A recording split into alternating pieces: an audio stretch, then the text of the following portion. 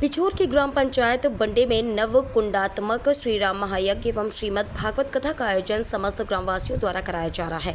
गाँव में सुख शांति का माहौल हो और सुख समृद्धि के लिए ग्रामीणों द्वारा यह आयोजन श्री श्री एक हज़ार आठ श्री सिद्ध बाबा मंदिर पर कराया जा रहा है। कथावाचक सुमन सरकार के मुखारविंद से भागवत कथा की जा रही है।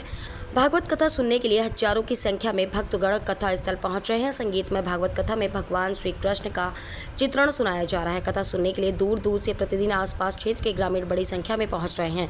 यह कथा जन कल्याण के लिए कराई जा रही है। पंडित श्री नरेश शास्त्री जी महाराज के द्वारा विधि विधान से यज्ञशाला में यजमानों द्वारा यज्ञ कराया जा रहा है। भागवत कथा का समापन एवं हवन की पूर्ण आहुति 16 जून को होगी।